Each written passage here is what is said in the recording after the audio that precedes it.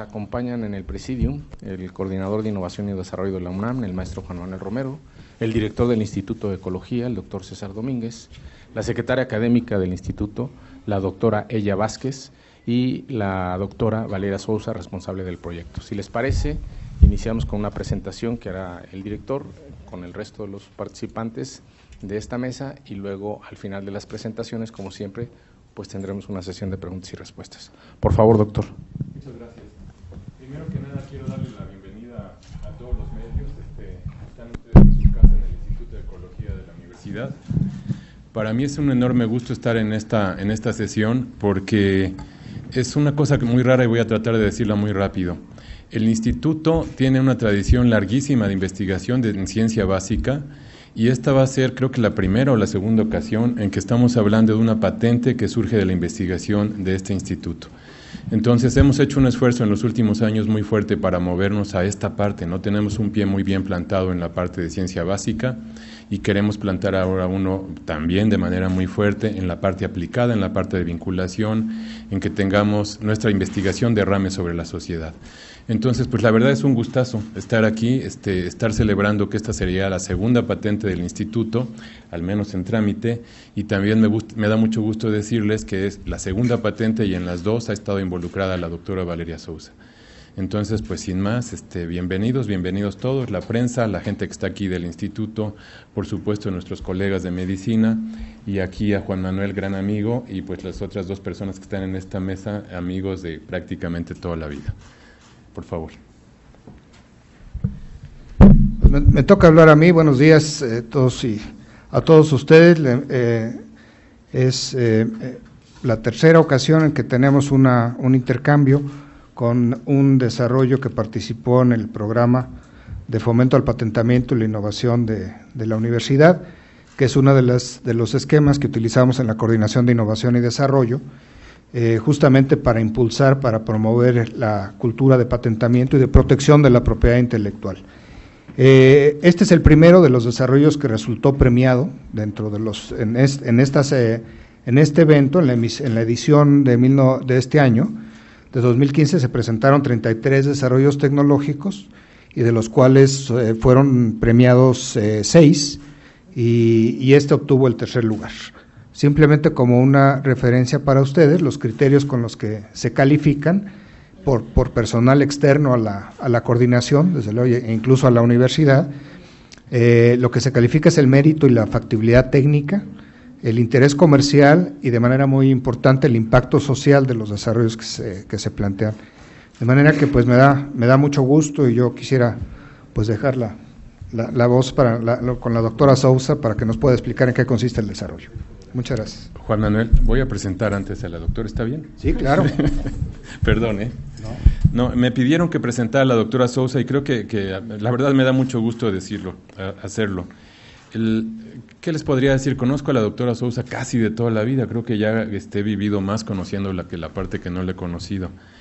ingresamos juntos a la primera generación del doctorado en ecología, el primer doctorado directo que hubo en la universidad, ya hace muchos años, en 1985, ni quiero hacer la cuenta. Entonces ahí ingresamos al doctorado y ella egresó, ingresó perdón, al, al Centro de Ecología, en aquel entonces era un centro todavía en 1993. Actualmente es una investigadora titular C, es nivel D del PRIDE y es, nivel 3 en el Sistema Nacional de Investigadores. Este, no voy a, le, prometí que no iba a hablar sobre los artículos y las citas, nada más déjenme decirles que en ambos casos son muy numerosas.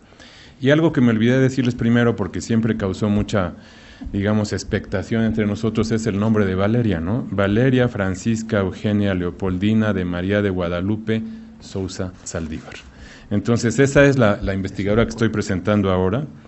Ella es, trabaja en ecología evolutiva de microorganismos y desde muy temprano tuvo un interés muy fuerte en las enfermedades y en la evolución de estos, de estos bichitos, no voy a decirlo así. Y créanme que, que, yo fui testigo del trabajo que le costó desarrollar esta línea. Teníamos unas ideas creo que muy concretas y probablemente muy cuadradas en aquel entonces, cuando éramos muy, muy jóvenes, seguimos siendo jóvenes, pero en aquel entonces éramos muy, muy jóvenes. Y Valeria siempre tuvo este ímpetu por impulsar este tipo de investigación, ¿no? La ecología, los, microbios, ella decía esta frase, los microbios también tienen ecología, cosa que ahora todo el mundo le compra muy fácil y que se ha convertido en una cosa importantísima en el mundo, ¿no? Ustedes lo saben. Ahora, la última parte que quisiera destacar de Valeria es este, este interés que ha tenido siempre por la conservación y ahora por una cosa que a mí me parece muy loable, que es el bienestar de las sociedades. Entonces, su trabajo en Cuatro Ciénegas lo ha mostrado así, el trabajo que ha desarrollado en los últimos años y ha tratado de involucrar a la comunidad, ha tratado de que la situación esté mejor ahí y creo que es un ejemplo que deberíamos seguir todos y que el este instituto también está tratando de seguir. Valeria, es tu fiesta y este, por favor, este, expon tu trabajo. Muchísimas gracias. Yo como soy maestra, hablo parada, perdón si muevo sus cámaras. Trataré de no. Ay, se fue la. Ah, se fue la presentación. Eso es, ese es asunto de Alejandro. Bueno, esta investigación, como dijo el doctor Domínguez, empezó hace muchos años. De hecho, regresando en 93, nos hicimos la pregunta de quién es Escherichia coli, que es un patógeno, y por qué nos enferma. Si normalmente Escherichia coli vive en el intestino.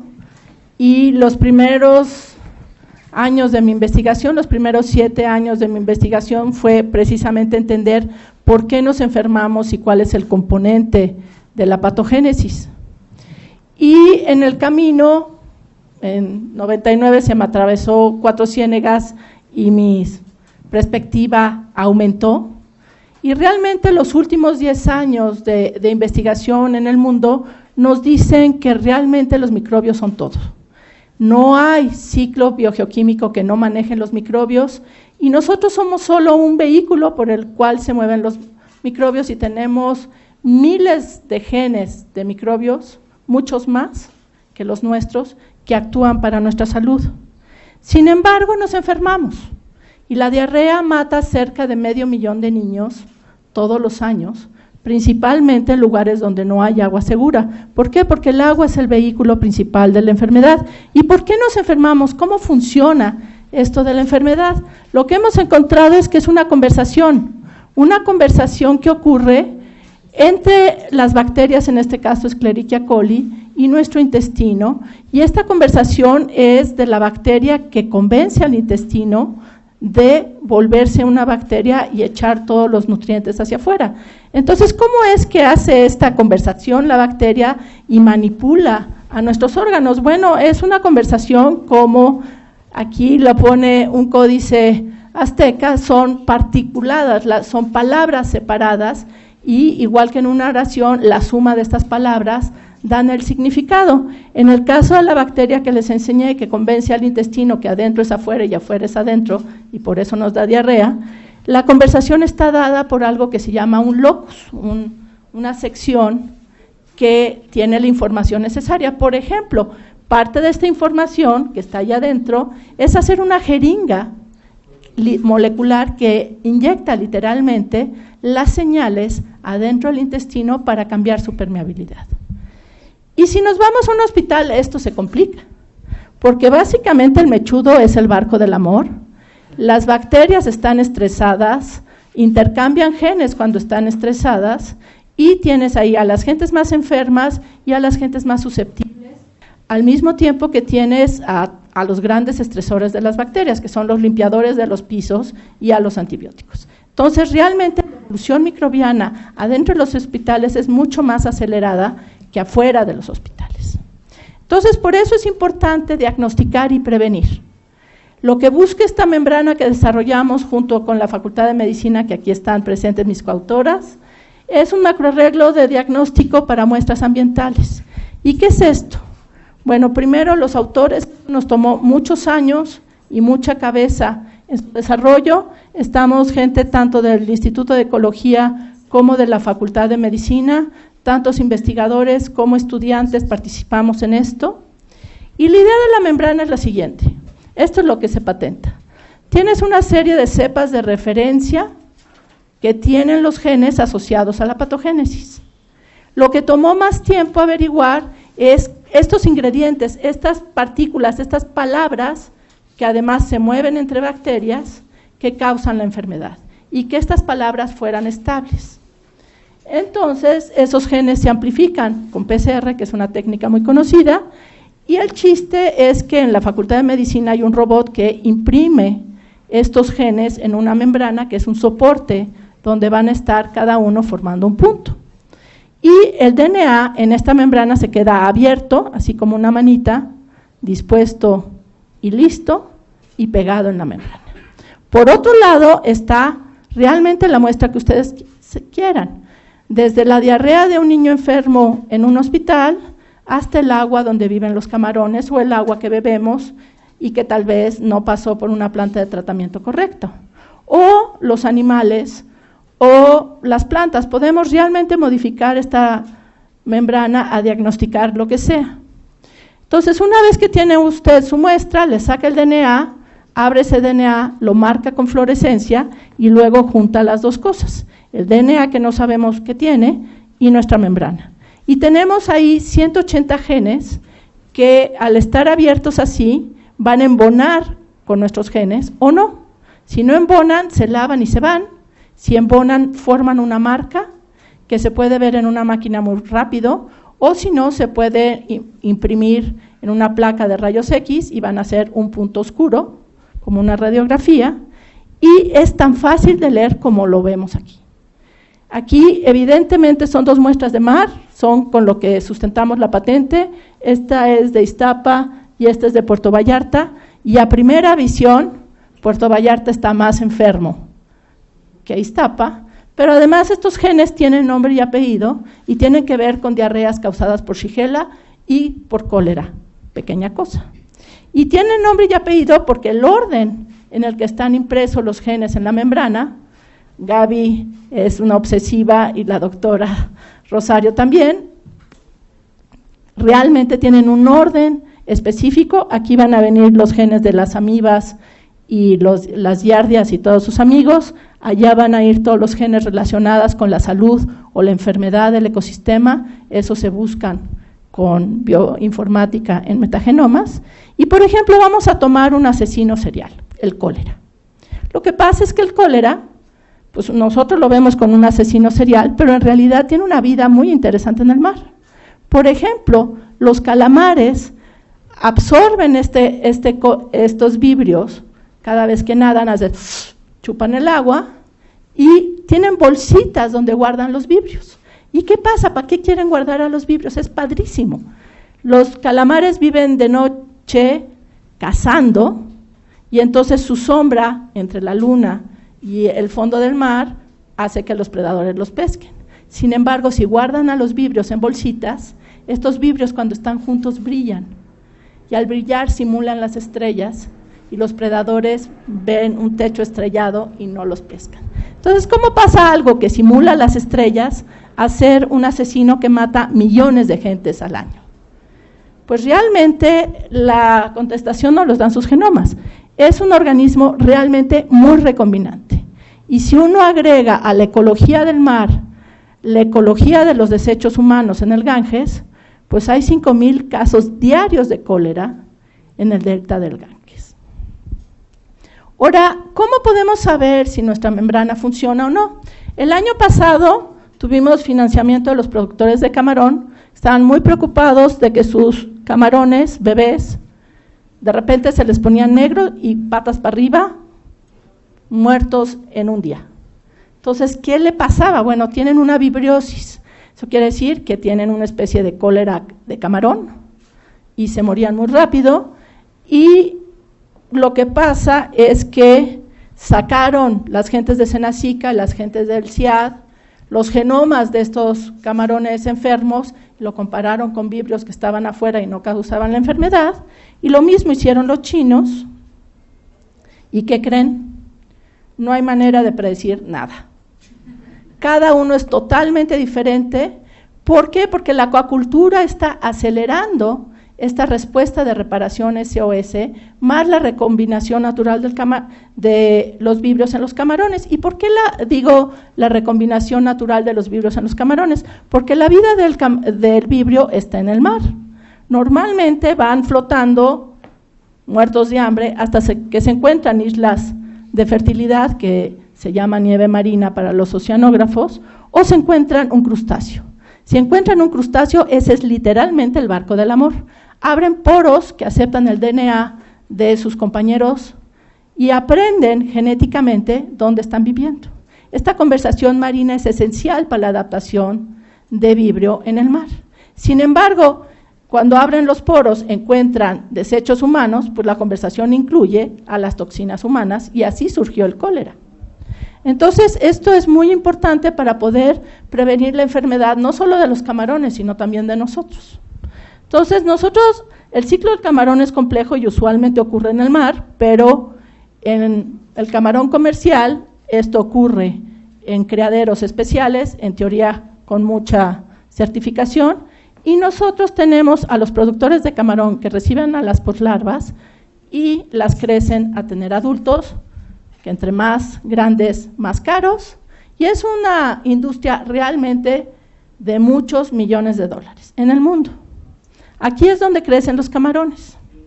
Aquí está uno de los estanques en Sonora, y el asunto es que nadie sabe realmente quién vive aquí, además de los camarones, porque los productores tratan de esterilizar el agua, es decir, ponen filtros, ponen luz ultravioleta, les echan cloralex, este, le ponen antibióticos, sin entender que eso está realmente estresando a los vibrios y haciendo que mezclen más los genes. Entonces nos dimos la tarea el año pasado de ver 150 granjas, aquí está Manuel que se fue por Nayarit, Sinaloa y Sonora, este es el área de muestreo del 2014 y va a ser la misma en 2015 con el apoyo de ENCOR, que está comprando la patente, y agregando un punto en Yucatán para tener pues otra visión de otro mar. A estas comunidades las secuenciamos completas con una técnica que se llama Illumina, eso no lo tienen por qué saber, pero salen millones de secuencias. Entonces, ¿en qué se parecieron estas 150 granjas entre sí? En realidad, estas verdecitas de aquí se parecen más entre ellas y las de las patas largas son muy diferentes entre ellas. Pero lo importante es que este puntito de acá no parece tener que ver, que es la enfermedad, no parece tener que ver con la estructura de la comunidad.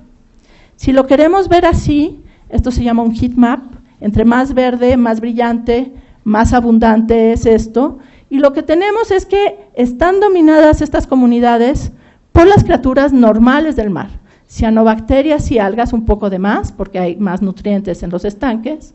Hay bacterias que mueven el nitrógeno, lo cual es normal porque hay muchos nutrientes adentro de las pozas, pero el único patógeno es vibrio. Y está hasta acá y no está tan verde, salvo en esos tres estanques de Sonora que estaban francamente enfermos. Entonces, ¿qué pasa si usamos la membrana en lugar de la estructura de la comunidad? Vemos lo que no ve la estructura de la comunidad vemos los genes que causan la enfermedad y la roja tiene 20 genes causantes de la enfermedad. Confirmando esto con Senacica, que es la autoridad federal para ver la enfermedad, ellos gen por gen encontraron lo mismo que nosotros, nada más que les toma un mes y a nosotros nos toma un día. Nuestra membrana puede detectar 180 toxinas simultáneamente. Si ponemos las más enfermas, este es eh, componentes principales, es una manera de separar las comunidades entre ellas. Las rojas son las más enfermas. Pues en realidad no se ve que la comunidad esté prediciendo qué tan enfermas son, porque puede haber unas cuantas bacterias realmente muy patógenas que hacen toda la diferencia. Entonces realmente nuestra membrana funciona y este año vamos a ir con el apoyo de la empresa Encore a muestrear cuatro estados, eso es filtrar el agua, extraer el DNA, eso se usan kits comerciales, y vamos a dividir el DNA en tres. Uno para conocer la estructura de la comunidad otra vez, porque hay que ver si los patrones se repiten. Otra es buscar genes que tienen que ver con la salud o la enfermedad. Esos genes los obtuvimos a través de un estudio bioinformático muy cuidadoso. Y otra es usar la membrana, que ya la vamos a poder usar en situ y en campo los manuales que ahí están van a filtrar el agua, extraer el DNA, hibridizar el, el DNA con la membrana enfrente de los productores. Y la idea finalmente es que los productores tengan una herramienta para decir mi agua está sucia o no, la cambio o no. O sea, cambiar el agua es mover todo el agua de un estanque hacia el mar y fíjense usted que casi todas estas estanques dan al mar de Cortés. En el mar de Cortés nacen todos los bebés ballena del hemisferio norte. Entonces nos importa mucho como ecólogos que el desarrollo acuícola sea sustentable y no mate a los bebés ballena con antibióticos, cloro, melaza y quién sabe cuántas porquerías. Porque además le echan cosas más o menos al azar porque no tienen idea qué hacer. Entonces nos vamos a ir a campo este julio, este, el equipo de ecología a enseñarles cómo hacer el diagnóstico, pero además explicarles que se puede hacer acuacultura científica, que ellos tienen los elementos para poder predecir a través de su ambiente qué está pasando y además un elemento que es la membrana que les puede decir si hay un problema o no y además una serie de probióticos que a eso se dedica en CORE y funcionan que ayudan al sistema inmune del camarón y previene, sin el uso de antibióticos, que se enferme. Entonces, finalmente, para resumir, estos son nuestra herramienta de diagnóstico, es algo que puede usar un niño de 15 años en un cebeta o puede usar un técnico en una granja camaronera de cualquier tipo, no es un instrumento caro comparado con lo que hay ahora, que son 3 mil pesos por cada PCR de cada uno de estos puntitos que vemos aquí. Esto es mucho más barato y está basado en una tecnología que se sabe que funciona desde hace 60 años, que es la hibridización DNA-DNA. Por lo tanto, es fácil, barato y sobre todo muy sensible a muchas cosas que no podemos ver de otra manera. Muchas gracias.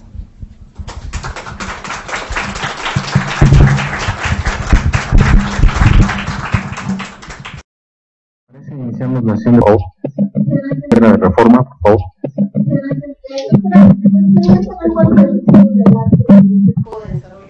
sobre todo porque bueno sabemos que están pidiendo la patente o bueno dijeron que están en la en el trámite de patente. Eh, pero este al final de cuentas existe algún otro algún otro sistema similar este en el mundo y me bueno comentaba que eh, a Senacica le toma, este, bueno, las autoridades les, les tomó un mes desarrollar el trabajo. ustedes cuánto, en cuánto tiempo lograron hacer estos diagnósticos este, para poder sanear, bueno, poder, saber que lo, y entonces Vibrio era era lo que causó la mortandad el año pasado de, estos organismos? Este, son muchas preguntas juntas. El estado del arte es algo que se llama PCR, que es lo que nosotros usamos para amplificar los genes y ponerlos en la membrana. Lo que pasa con el PCR es que si no tienes tú la señal con la que amplificar idéntica a lo que vas a amplificar, no pega. Entonces no permite la evolución. El chiste de esta membrana es que como es hibridización DNA-DNA, tú tienes el DNA abierto y el DNA misterio y embonan, pero pueden embonar hasta 70%, lo cual deja 30% de variación, porque la evolución es muy rápida en los genes asociados a la patogénesis. No solo eso, sino que en lugar de buscar gen por gen, aquí estamos buscando 180 y van a ser más, pueden caber hasta 300 en la membrana, simultáneamente y no estás haciendo PCRs de uno en uno. Por eso Senacica le tomó mucho más tiempo, porque están haciendo PCRs de uno en uno, pero además los genomas de, las, de los vibros causantes de la enfermedad resultaron que los de Hermosillo y los de Mazatlán son diferentes. Nosotros pudimos predecir en nuestra membrana la toxina que tenía la de Hermosillo porque se parece en un 70% con una toxina de cólera. Entonces, nuestra membrana es mucho más eficiente en el sentido de que muestrea más genes al mismo tiempo, es mucho más fácil de leer, no necesitas un entrenamiento especial para tener un PCR de tiempo real, que es lo que usas en ASICA. Y no fueron los vibrios solos, esa es la última respuesta, fueron la suma de 20 toxinas lo que enferma. Entonces, buscar en una cajita vibrios, que es una cajita verde que se pone amarilla, que llevaba este, el comité de Camarón y Senacica haciendo durante tres años no le sirvió de nada. Uno, porque las granjas no tomaban cuentas de cuántas amarillas contra verdes tenían, por lo tanto era un dato que, que no pudo corroborarse con la enfermedad, era un ejercicio inútil.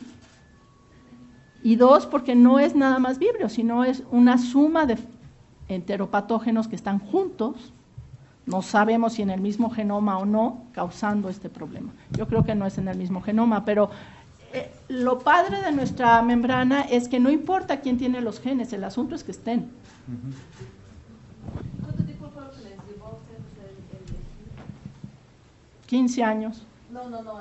Ah, no, o sea, tú puedes tener los resultados en un día. Gracias. Arturo Moreno, por favor, de Notimex. Buenas eh, tardes, días. Bueno, yo a ver si eh, le entendí bien, necesitaría una explicación un poquito más detallada, más simple, mejor dicho. Esto quiere decir que eh, de una manera más sencilla y con una amplia gama eh, bueno, o en una amplia gama, se pueden identificar diversos eh, agentes patógenos que provocan enfermedad tanto en hospitales como en, eh, para humanos en aguas infectadas o para animales, más que hacia el humano es dirigido hacia la fuente, analizar la fuente donde pudiera prevenir la, la enfermedad. ¿Esto, ¿Esto es así? Ese es el meollo del asunto. Nosotros podemos prevenir esas diarreas que llevan a los niños al hospital o a la muerte al limpiar el agua y al detectar estos problemas en la comida. ¿sí? Entonces podemos decirle a la Comisión Nacional del Agua, oyes, tus ríos no están limpios. Oyes, tus pozos no están limpios. Oyes, la planta de tratamiento que pusiste no sirve. O a los dueños de las granjas, tus animales están enfermos de esto, esto, esto, y esto puede causar este, problemas en la cadena alimenticia. Y antes de este desarrollo que, realizó, doctora, eh, ¿esto tomaba más tiempo y era más tardado, tenía más, eh, pues, que hacer más pruebas? No se hacía, o sea, nadie está revisando la salud de los ríos verdaderamente, salvo por cosas muy puntuales cuando hay muertes. ¿Sí? Si no hay muertes, nadie está revisando la salud del agua o de la comida. Hasta que ya hay el problema epidemiológico, Senacica entra en funciones y Senacica tiene buenísimos laboratorios, pero va gen por gen. Esto es un primer barrido que le va a dar a Senacica un primer levantamiento y luego ellos ya confirmar las cosas cuando ya hay un problema. Antonio López de México al Día, por favor. Doctora, buenos días. nada más para conocer, aquí, ah. nada más para conocer el potencial de este desarrollo 100% mexicano, me gustaría que me, que me comente desde su punto de vista, eh, esta innovación permitirá prevenir más de medio millón de muertes a nivel mundial por, por, por, por la diarrea, como, como lo comentó en un principio. Esperemos que sí, pero bueno, no sabemos si Encor lo va a vender en África, eso ya será cuestión de Encor que aquí está presente. Este, no tenemos la patente todavía nacional, ya espero que el INPI la libere pronto y, una, y se puede hacer una patente internacional y esa es la idea de Encor, que esto se pueda usar en más lugares. Juan Rocha de TV Azteca, por favor. doctor, aquí estoy. Eh, buenos días. Más o menos es en el sentido de, las últimas preguntas para que los que no somos expertos en la materia y sobre todo la audiencia entienda la importancia de estos resultados de esta investigación. Estamos hablando que puede ser la diferencia entre la vida y la muerte de millones de personas, ahora sí que no solo de México, sino de todo el mundo. Es, es, es una investigación que puede trascender a nivel mundial, me imagino. Sí, y Muchas de estas muertes en diarrea son causadas por virus.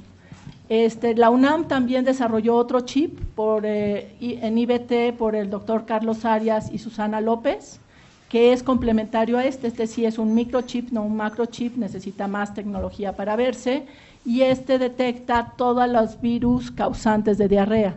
Si sumas nuestra membrana con eh, el chip de, la, de los virus de IBT tienes cubierto todas las enfermedades diarreicas en humanos, pero además este chip se puede usar también para pulmón o se puede usar realmente para lo que sea, porque en lo que se basa es que tienes al lenguaje que causa la, la enfermedad, en este caso la diarrea, pero puede ser el lenguaje que causa la septicemia, el lenguaje que causa la neumonía, y puedes hibridizar eso con la membrana. Pusimos los genes asociados a la diarrea porque uno es un asesino global, pero otro está en el agua y la comida, mientras que las enfermedades respiratorias son mucho más complicadas y no tienes realmente dónde las vas a detectar. Ya que está en el paciente, el diagnóstico es mucho más rápido de forma clínica que este, usar herramientas moleculares. Por eso fue dirigido esto básicamente a enfermedades gastrointestinales. Dalila Escobar de Efecto TV, por favor. Hola, ¿qué tal? Muy buenos días. Eh, igual preguntar también como para en términos un poquito más prácticos. Entiendo que este proyecto es precisamente para hacer una evaluación de lo que de lo que se presenta en términos de calidad, de, de dónde se crean los alimentos que finalmente la gente comemos, ¿no? Pero supongo que tal vez tengan una preevaluación de cómo está esta situación de alimentos que se ofrece a la gente, es grave, cómo podrían calificarla o y, o qué podría decirnos respecto de eso. No, en realidad los camarones que se mueren por esta enfermedad de la vibriosis no llegan al mercado, porque son demasiado chiquitos para empezar. Entonces se mueren a los días de entrar al estanque y no forman parte de la cadena alimenticia. Este, no tengo ningún dato epidemiológico de la calidad de los alimentos que venden en Superama, no, no le puedo dar ese dato y supongo que varía de día a día. ¿sí? Y las intoxicaciones por alimentos, por ejemplo, Nunca usted coma una ensalada de pollo en un buffet que ha estado en el sol más de cinco horas, es cuestión de lógica. Y esas gorditas de la esquina, no le la lechuguita, eso no lo revisas en ASICA, no entra a la cadena de vigilancia epidemiológica porque en realidad la mayor parte de estas diarreas que uno adquiere como adulto no, no son mortales, la mayoría. Sin embargo, nuestro chip sí puede detectar cosas como el cólera, que sí te mata a cualquier edad, o eh, escléricas colies enteroinvasivas que también te pueden matar a cualquier edad, sobre todo a las gentes del primer mundo. O sea, uno vio el mapa de los niños de menos de 5 años que se mueren de diarrea. Si hacemos el mapa de los adultos que se mueren por enfermedades intestinales, es inverso. ¿Por qué? Porque los niños adquieren, si sobreviven al intento, adquieren inmunidad y son mucho más resistentes a la comida contaminada que sus pares que crecieron en el primer mundo en un mundo estéril. Muchas gracias. Si no hay más preguntas, pues damos por concluida esta conferencia. agradecemos a todos su presencia. Ah, perdón, por acá. Yo quisiera hacer más bien un comentario, que creo que eh, esta prueba la oportunidad de desarrollar en, conjunto y en una colaboración muy estrecha entre la Facultad de Medicina y el Instituto de Ecología, tiene una versatilidad enorme, ¿sí? En este aspecto, eh, Valeria eh, se ha enfocado, y para que ustedes este, entiendan, el, el, del aspecto ecológico y la importancia que tiene la utilización de la prueba a nivel de la industria de los alimentos. ¿sí? Porque finalmente esa es la fuente de infección para el humano, sobre todo en las enfermedades diarreicas, ¿sí? A diferencia de las respiratorias, que es más por contacto persona a persona. Pero en este caso no, aquí estamos yendo a la fuente de infección y esto eh, permite prevenir o eh, eh, saber de antemano, predecir dónde vamos a tener un brote este, importante de enfermos, por ejemplo en cólera. Si sabemos que hay en Sinaloa ciertas áreas de alto riesgo por este tipo de, de, bichos, ¿sí? sabemos que nos van a aumentar el número de enfermos en la comunidad en un eh, periodo de tiempo y podemos tener la capacidad de tomar decisiones para prevenir estos brotes, lo cual es muy, muy, muy importante. Otra de las cosas es que la prueba es extraordinariamente versátil. Se puede usar con diferentes propósitos. no solamente el diagnóstico de fuentes de infección a nivel de eh, alimentos, ¿sí? sino además podemos utilizarla ya en la fase de diagnóstico a nivel de hospitales, al lado de la cama del enfermo. Esto ahorra en tiempo de trabajo de persona, simplemente para hacer un coprocultivo y que el médico pueda establecer el tratamiento adecuado. El coprocultivo tarda tres días, ¿sí? Para tener un diagnóstico etiológico. Esta prueba se hace en un día y esto le permite al médico establecer un eh, tratamiento específico y adecuado en un tiempo récord, ¿sí? Porque si no el médico tiene que establecer un tratamiento inmediatamente sin el conocimiento de cuál es el bicho que está causando la enfermedad, ¿sí? Pero también hay otra cosa que es importante para nuestros servicios de salud a nivel nacional, ¿sí? La Secretaría de Salud, por ejemplo. Esta membrana puede ser utilizada en estudios masivos epidemiológicos, ¿sí? Para poder determinar geográficamente cuáles son los estados que están en más alto riesgo y que van a requerir más recursos económicos para prevenir y para ir a las comunidades a este, eh, hacer intervenciones para evitar los brotes que van a causar la muerte de muchos niños. A nivel ya, cuando nuestro, la primera causa de muerte en menores de 5 años en México son las diarreas. La segunda causa son las enfermedades respiratorias, ¿sí? Y son el factor de riesgo de muerte durante los primeros cinco años. Ese es el, el, este, el blanco que queremos abordar.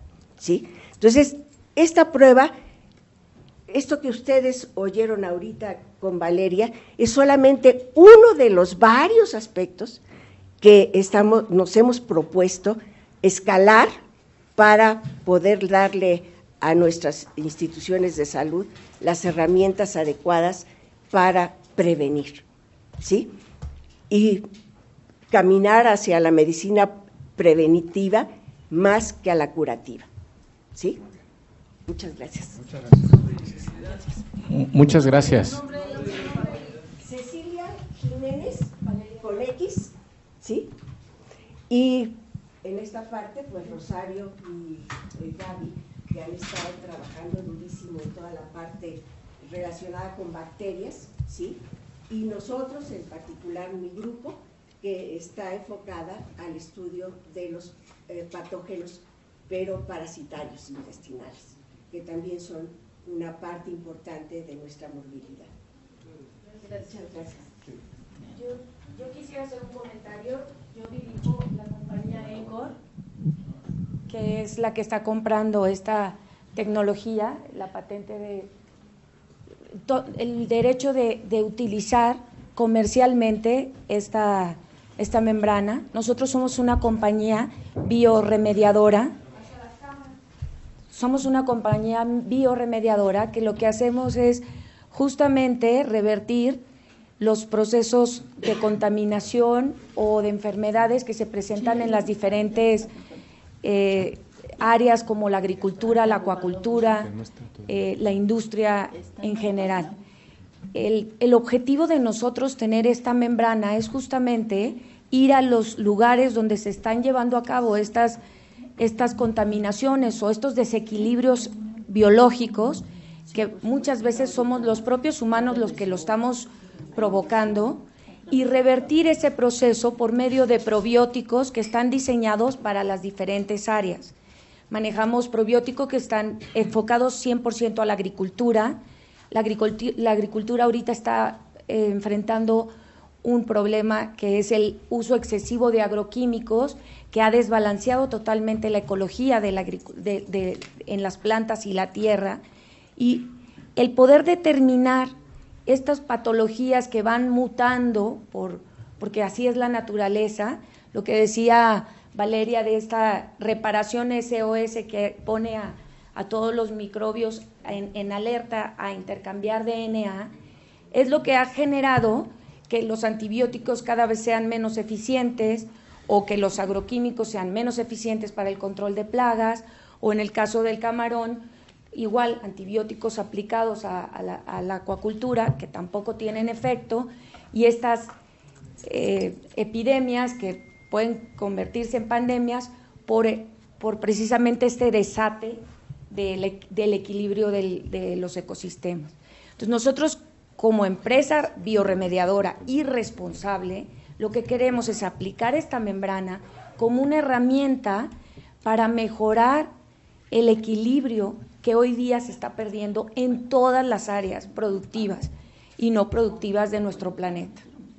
Entonces, eh, queremos aclarar que la membrana va a ser aplicada en donde se tenga que aplicar y como se tenga que aplicar. La parte humana también es una parte que nos, que nos ocupa, nos preocupa y nos ocupa, porque al final del día, pues somos nosotros los que estamos tomando decisiones sobre este planeta y queremos que haya más salud y que nuestros niños crezcan mejor. Estamos también pensando en esa área y ver de qué manera seguimos haciendo más alianzas con la UNAM para que podamos llevar toda esta tecnología a un uso comercial que se pueda eh, llevar a las casas y a, las industrias y al final del día al consumidor, que al final del día somos todos nosotros. Mi nombre es Carla Alverde, soy ingeniero bioquímico y dirijo Encore Biotechnology. Muchas gracias. gracias.